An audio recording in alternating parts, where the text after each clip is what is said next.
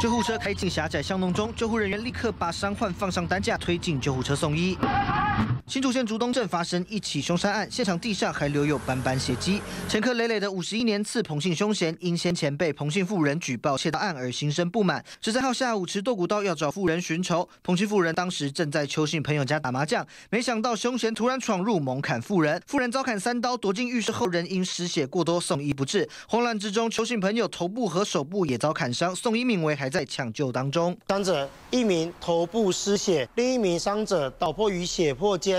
啊，经评估，患者无生命真相。凶嫌在犯案后徒步逃逸，警方已组成专案小组，锁定凶嫌追缉当中。调阅现场周边监视器，锁定一名彭姓犯嫌设有重嫌。周遭邻居表示，命案发生地点出入人口复杂，很复杂。嗯，怎样复杂？是打打麻将的，打麻将的。哦，有警察来。